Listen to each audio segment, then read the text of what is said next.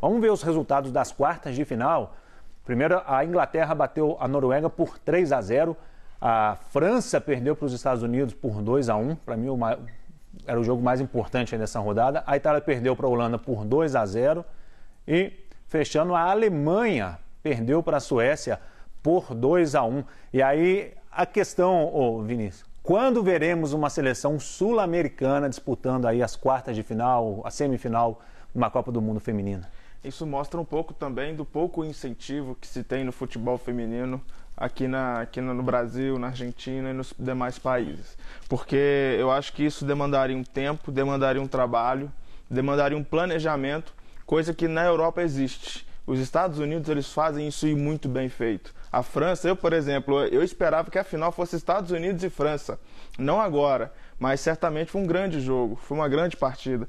Então existe, tem, tem que haver esse trabalho, tem que haver esse, haver esse trabalho de base, esse incentivo, essa, essa procura por jovens e boas jogadoras. Assim que isso acontecer aqui, o Brasil vai crescer, lógico, é um trabalho que demanda tempo, mas eu acho que isso vai acontecer os incentivos vão surgir e aí sim o Brasil pode chegar mais longe, a Argentina pode aparecer também, Chile, Uruguai e outras demais seleções que no futebol masculino já tem um destaque mundial. E o pessoal que estava apoiando as meninas na seleção, dá para acompanhar também no brasileiro, né? A Cristiane está no São Paulo, a Tamires, lateral esquerda, fechou com o Corinthians, então dá para continuar apoiando. Tem, tem desculpa para não apoiar, não. Tem outras meninas no, no futebol brasileiro, vamos continuar apoiando sim o futebol feminino.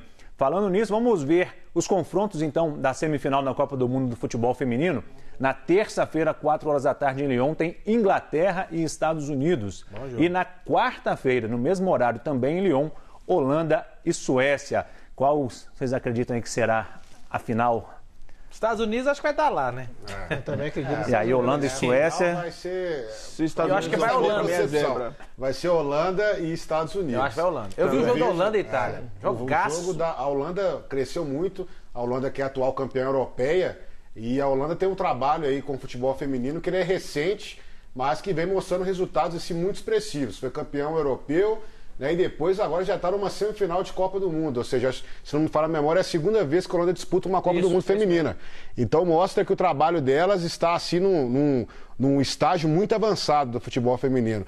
E os Estados Unidos, claro, é a grande potência, o time tricampeão mundial, e tem jogadores de destaque como a própria Megan Rapinoe, né? Que ela até ter os seus problemas aí com o presidente norte-americano, falou que não vai comparecer à Casa Branca se for campeão mundial. Tem a Alex Morgan, tem grandes jogadores que estão se destacando aí na seleção norte-americana. E eu destaco também a seleção sueca, que é. tem uma jogadora muito boa, que é a Black Stenius, que inclusive jogou no Arsenal, depois ela voltou para a Suécia para jogar lá uma jogadora, uma atacante que lembra até um pouco assim o Ibrahimovic, tal, porque ela, a movimentação dela, ela é muito intensa dentro da área, o tempo inteiro casqueando alguma bola. Então vai ser um, um confronto muito disputado contra a Holanda e tem a Inglaterra, a jogadora Lucy Bronze, que é uma lateral que joga no, no próprio Lyon, que é o atual é o grande campeão europeu, então a Lucy Bronze é uma das melhores jogadoras do mundo, das melhores laterais do mundo.